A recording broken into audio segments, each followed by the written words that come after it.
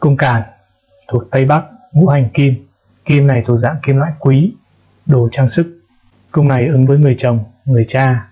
Cung này là cung quý nhân. Khí là khí phong, khí vượng. Theo tiên thiên bát quái, cung này là trời. Cung này bị sai, bệnh liên quan đến là bệnh về đầu, bệnh về cột sống. Cung này bị sai, ứng vào người chồng, người cha trong nhà. Cung này là cung quý nhân, nên nghĩ sai thì người chồng, người cha này đào hoa, dễ có phụ nữ rất là hâm mộ. Xin chào toàn thể cô chú, anh chị và các bạn. Chuẩn bị bước sang năm mới năm 2024, Giáp Thìn mà trên ờ, TikTok có nhiều bạn nói linh tinh quá nói rằng năm nay ờ, không cúng giao thừa lại thêm ờ, đủ các thể loại về tài tuế nói chung khá là lực cười. Họ nói uh, như vậy khiến cho nhiều người ờ, dễ bị u mê. Khi mà sợ hãi và u mê rồi thì nói chung là rất là dễ xuống tiền để mua những cái vật phẩm hóa giải mà họ bán. Trong khi thực chất cái việc cúng giao thừa đơn giản là chúng ta thỉnh mời ông bà tổ tiên về ăn Tết cùng với gia đình. Là ngày mà đại gia đình đoàn tụ nên à, việc mời các cụ về đoàn tụ cùng với con cháu cũng là bình thường thôi vậy mà họ cũng nói là không được cúng giao thừa video này à, tôi xem phong thủy cho một căn nhà trong một khu đô thị sầm uất ở Hà Nội hướng à, Tây Bắc 310 độ. Vị trí của căn nhà cũng rất là đắc địa. Nhà này cũng là nhà của một người bạn học cùng đại học với tôi. Cũng là một kiến trúc sư nhiều kinh nghiệm. Tuy nhiên thì cả nhà anh này đều thuộc uh, chủ nghĩa duy vật hay uh, còn gọi là chủ nghĩa vô thần. Nên uh, tất cả các thành viên trong gia đình anh uh, đều nghĩ phong thủy là mê tín cho đến khi uh, trong nhà xảy ra chuyện thời điểm uh, tôi xem phong thủy cho ngôi nhà này ở cuối năm 2022 giữa năm đó thì ngôi nhà sát vách bên cạnh tiến hành uh, thi công hoàn thiện khi ở gần nhà các bác mà có một ngôi nhà xây dựng hoặc là cải tạo, thì cả khu vực đó trong phạm vi từ 50 đến 100 mét trở lại đều có thể gặp những cái hạn ờ, khá là nặng. Và ờ, nhà anh kiến trúc sư bạn tôi thì cũng rơi vào trường hợp như vậy.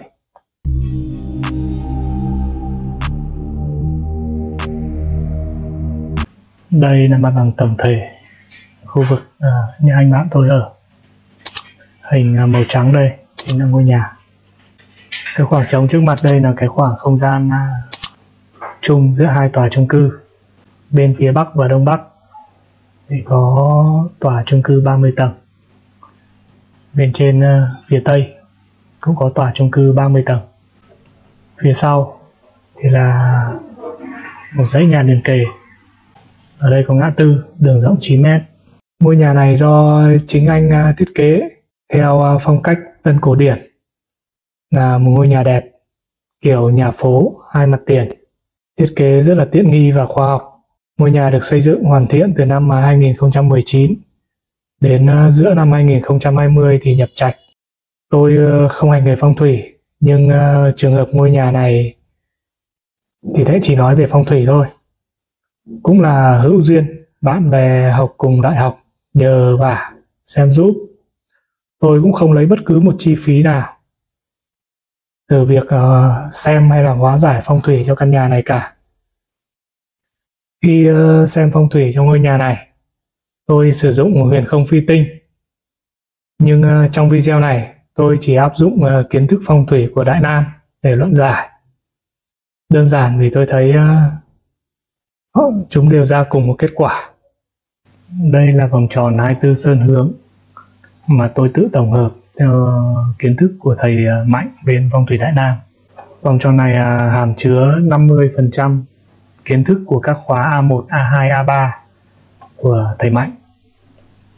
Cái này thì đơn giản thôi, tôi lấy ví dụ như này. Đây là cung khôn. Cung khôn gồm ba sơn mùi khôn thân. cung khôn thuộc hướng tây nam cung khôn mang ngũ hành thổ.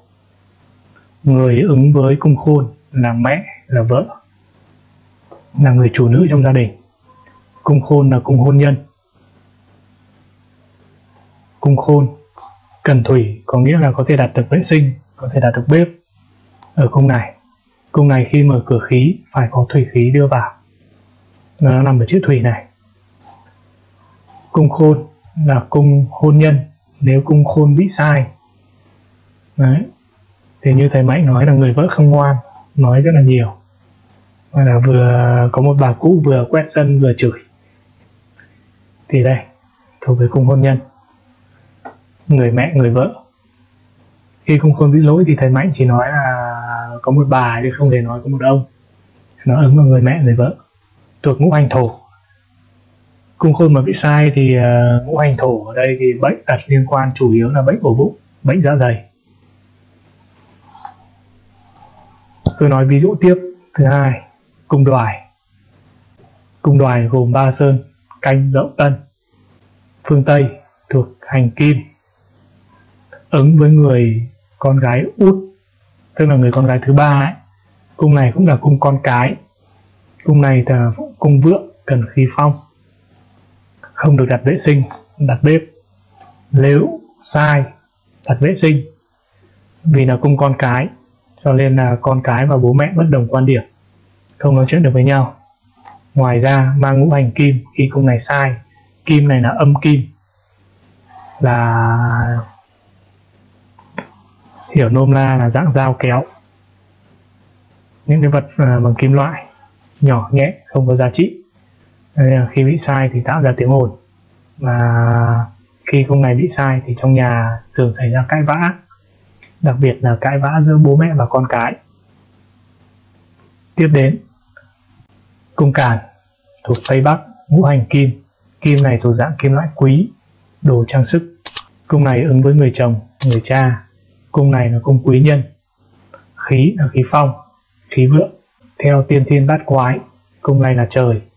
Cung này bị sai, bệnh liên quan đến là bệnh về đầu, bệnh về cuộc sống cung này bị sai, ứng vào người chồng, người cha trong nhà. Cung này là cung quý nhân, nên bị sai thì người chồng, người cha này đào hoa, dễ có phụ nữ rất là hâm mộ.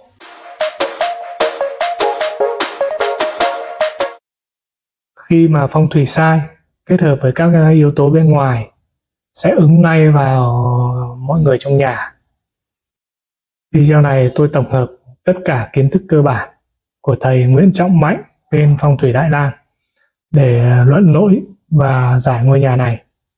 Đây là mặt bằng tầng 1 của ngôi nhà.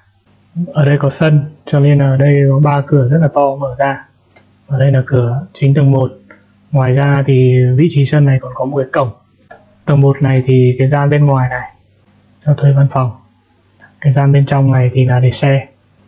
Ở đây là cái lối vào riêng, chung cho tất cả những cái tầng ở trên đây là mặt bằng tầng 2 của căn nhà. Hai phòng tầng 2 này thì hiện nay cũng đang cho văn phòng thuê. Nên là tôi sẽ không nói gì đến hai tầng 2 và tầng 1 cả. Ngôi nhà này à, có 3 thế hệ, là đại gia đình, tam đại đồng đường. Ông bà ở đây thì có ba người con trai. Dân gian vẫn nói là tam nam bất phú. Tuy nhiên à, bất phú mà như nhà này thì tôi cũng mong muốn được bất phú như thế hai người con trai lớn của ông bà thì đã có gia đình riêng. Cậu con trai út thì mới 21 tuổi nên chưa lập gia đình. Và ở trong căn nhà này thì mỗi gia đình nhỏ ở, ở một tầng. Gia đình ờ, có sử dụng thang máy nên uh, thứ tự thì uh, có chút đảo ngược. Như là ông bà và cậu út thì ở tầng 5 đây là mặt bằng tầng 5 của căn nhà tầng mà ông bà và cậu con trai út ở thang máy, thang bộ. Bên này là bếp. Đây là nhà vệ sinh.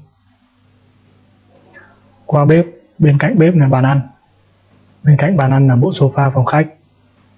Đây là tivi đây là bàn thờ. Đây là phòng ngủ, cửa sổ, đông nam. Cửa sổ, phương đông. Giường ngủ của hai ông bà tủ quần áo. Giường ngủ của cậu con trai út đây là cung uh, càn tuất càn hợi. Cung của người chồng người cha người ông. Đồng thời là cung quý nhân.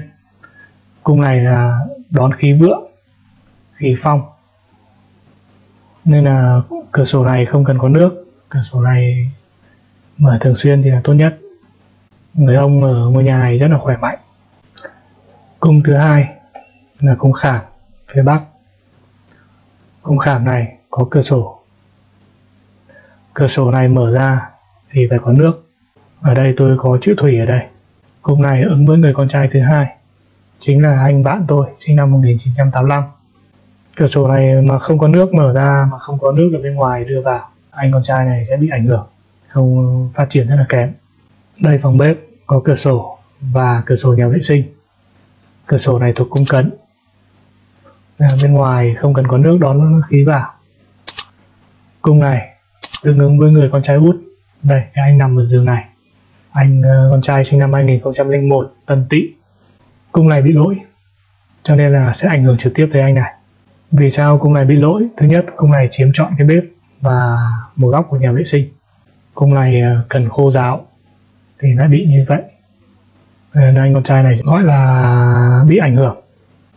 Tiếp đến là cung chấn cung chấn là cung con trai trưởng là anh con trai ở tầng 4 sinh năm à, 1983 cửa sổ này mở ra phải có nước phải có khí thủy đưa vào.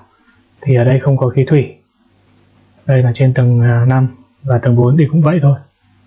Cung này là cung à, gia đình sức khỏe. À, cung này bị lỗi nên trong nhà thì có một vài người sức khỏe không được tốt. Ông à, út nam con trai thứ ba. Điều thứ hai ảnh hưởng đến sức khỏe không được tốt. Ở đây có cung khôn của người mẹ có bị quyết nhưng không đáng kể. Người bà này sinh năm 1962 nhâm dần. Thì ở đây ta nhìn thấy ngay cái bếp đang nằm ở sơn dần cho nên là người bà này bị ảnh hưởng. Sức khỏe không tốt.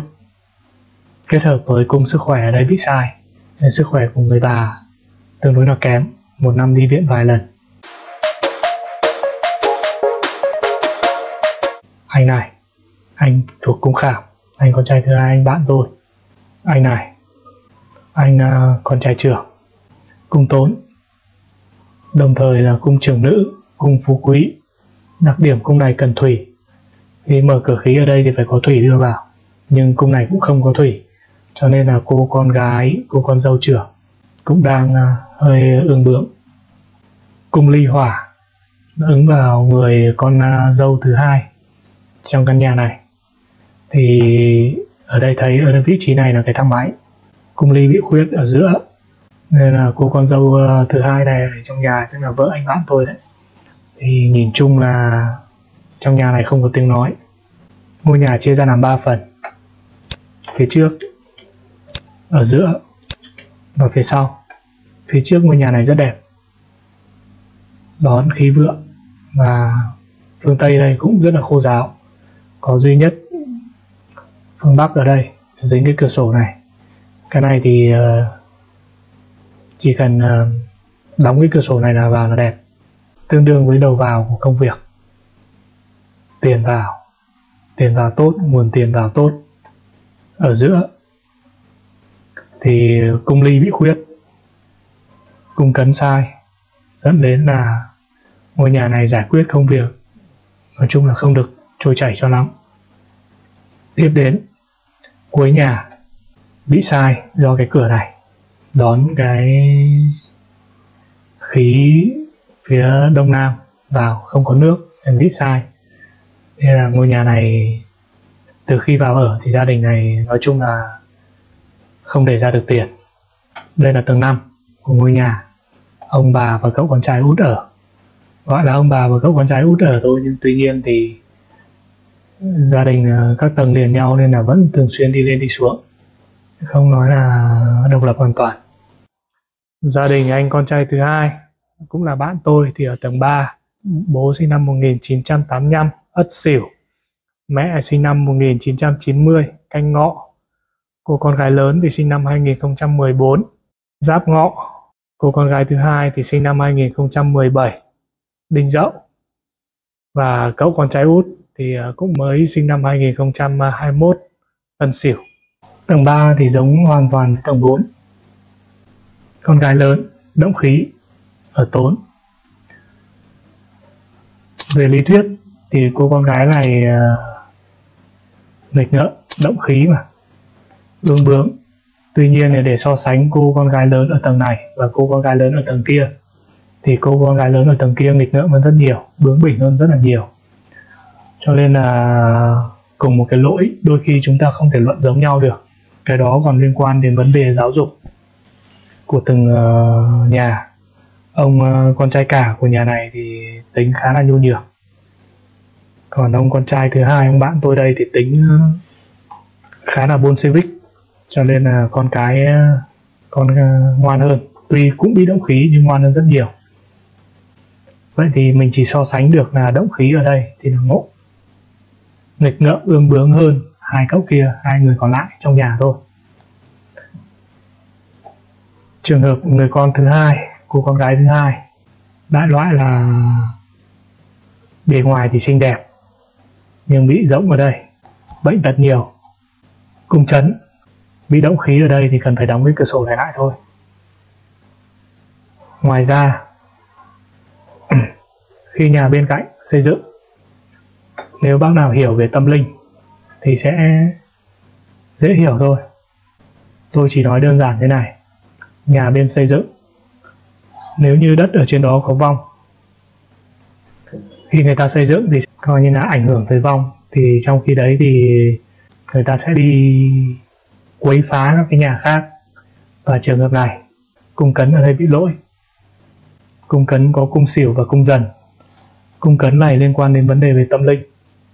Tháng 9 năm 2022 sau khi nhà bên cạnh uh, bắt đầu xây dựng được khoảng hơn một tháng thì cô con gái lớn này bắt đầu có hiện tượng. Hiện tượng đầu tiên là đau đầu sau đó là đau bụng. Đi rất là nhiều các bệnh viện là từ trung ương cho đến cấp uh, thành phố hay là cấp quận thì đều uh, không tìm ra nguyên nhân. Nói chung là ờ, cứ đi vào bệnh viện thì cũng ra những cái bệnh rất là lặt vặt. Nhưng những cái bệnh lặt vặt đó không thể tạo ra những cái cơn đau dữ dội cho cháu được. Sau hơn một tháng điều trị ở các cái bệnh viện lớn nhỏ không có kết quả thì gia đình bắt đầu nghĩ tới vấn đề liên quan đến tâm linh. Có đi xem bói thì ờ, thầy bói nói rõ luôn là vì nhà bên này xây. Cho nên là nhà bên này có vong, tác động sang đó là lý do mà tôi vẫn nói đến là tại sao trong nhà, trong khu vực nhà các bác ở mà có nhà xây dựng hoặc là hoàn thiện. Thì trong phạm vi 50 đến 100 mét rất là dễ gặp họa liên quan đến tâm linh này, yếu tố tâm linh này nó tác động này nhà này đã bị sai ở cung này nữa. Sai ở đây nữa. Tạo ra cái hiện tượng tâm linh rất là mạnh. Khi tôi được nghe về trường hợp nhà này, tôi có hướng dẫn là mà bây giờ tâm linh ờ, hiện tượng tâm linh nó đã mạnh rồi. Có sửa phong thủy cũng không thể giải quyết được vấn đề. Không thể giải quyết được triệt để vấn đề. Khi mà lỗi phong thủy đã ngấm sâu, gây ra các cái tác động không tốt lên các cái thành viên trong nhà, khi đó sửa phong thủy chưa chắc, những cái lỗi trước đó đã được khắc phục triệt để. Vì vậy à, tôi có hướng dẫn thêm cho gia đình giải hạn theo à, Phật pháp. Cái này thì thầy à, phong thủy đại nam thì không nói kỹ cái này, nhưng khi tôi luận giải theo việt không phi tinh thì nói rất rõ là có hiện tượng tâm linh rất là nặng. Nhà này xảy ra chuyện vào năm 2022 năm 22 là năm nhâm dần. Năm 22 mà có nhâm dần đồng thời thuộc cung cấn. Này và năm dần mà bị uh, lỗi thì sẽ có những tuổi ngày uh, có vấn đề. Thứ nhất là tuổi trực xung với tuổi dần là tuổi thân. Nhà này thì không có ai tuổi thân cả. Cái thứ hai là tuổi những tuổi tam hợp với dần. Đó là dần ngõ tuất nhà, trong nhà này thì có hai người tuổi ngõ mẹ và con gái lớn. Tại sao lại vào người con gái lớn mà không vào mẹ? Là bởi vì cung của cô con gái lớn bị động khí ở đây. Bị sai cho nên là sẽ đánh vào người con gái lớn. Còn cung của người mẹ thì không biết làm sao cả. Nói chung nhà này thì đúng ở phần đầu phần giữa và phần sau thì bị sai cho nên là bệnh tật nhiều cái việc không giữ được tiền thì bệnh tật nhiều thì làm sao mà giữ được tiền? Trong ờ, Phật giáo gọi đó là cái ờ, gọi là cái nghiệp mà thất thoát tài sản. Còn à, bên đạo giáo thì họ gọi đó là phong thủy mà sửa phong thủy thôi. Tôi cũng có hướng dẫn ở đây đặt nước. Sẽ giảm thiểu uh, đi phần nào đấy để hóa giải vấn đề tâm linh của gia đình. Trong ngôi nhà này, do lỗi phong thủy, cùng với cái hạn à, do nhà bên cạnh à, xây dựng, tôi có hướng dẫn hóa giải thêm theo Phật pháp. Cách đây mấy hôm, tôi cũng có hướng dẫn hóa giải, xây nhà cho một người quen ở Thái Bình. Hóa giải theo Phật pháp. Qua Tết này thì anh bạn đó mới xây nhà phương pháp hóa giải thì khá là đơn giản thôi. Quan trọng là anh bạn đó có thực hiện theo hay là không. Và một điều nữa là khi thực hiện à, theo rồi, vấn đề tiếp theo đó là phúc khí của họ có đủ để hóa giải toàn bộ cái hạn xây nhà đó hay không nữa. Tôi lấy một ví dụ ờ, như thế này để cho các mọi người dễ hình dung. Tôi ờ, ví dụ về trường hợp va chạm giao thông này trên uh, thực tế có rất là nhiều các cái trường hợp mà va chạm giao thông rất là nặng nhưng uh, hai bên giải quyết rất là nhẹ nhàng êm đẹp. Đơn giản là vì họ là những người hiền lành những người hiểu biết. Tuy nhiên thì cũng có những cái trường hợp mà va chạm rất nhẹ cũng xảy ra những cái cãi vã rất là to tiếng thậm chí là có thể gây ra cả án mạng nữa cả trong uh, cõi tâm linh ở trên đất thì cũng vậy thôi nếu là vong linh hiền lành, các bác à, có thể tự giải, đơn giản. Cúng một mâm cơm là xong. Tuy nhiên nếu vong ở trên đất là đầu gấu, là xã hội đen, thì các bác à, nói chung là phải mời công an. Tôi nói là mời công an ở đây để cho mọi người dễ hình dung bản chất. Trên đất khi gặp những vong linh không hiền lành, hay là gọi là vong ma quỷ thì mọi người phải mời được những cái vị thầy đủ đức, đủ tài thì mới có thể giải được cái hạn cho nhà, trên đất này. Trong phật giáo, trường hợp này gọi là nghiệp trổ hay là nghiệp đến. Khi nghiệp đã trổ đã đến thì chỉ có trả nghiệp thôi, chứ chúng ta không thể chạy trốn nghiệp được.